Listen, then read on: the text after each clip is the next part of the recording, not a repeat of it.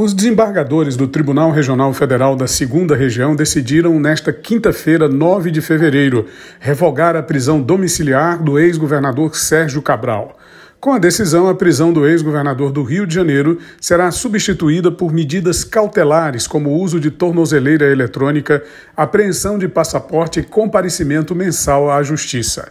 O desembargador Marcelo Granado, relator do processo, votou contra o pedido da defesa de Cabral de soltar o ex-governador, sendo acompanhado pelos desembargadores Flávio Lucas e Vanderlei Sanan.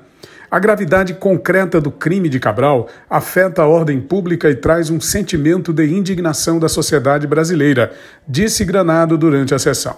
A solicitação, no entanto, foi acolhida pelos desembargadores André Esmeraldo, Ivan Ati, Simone Scheider e William Douglas. A decisão é referente à Operação Calicut, que levou o político à cadeia em 2016.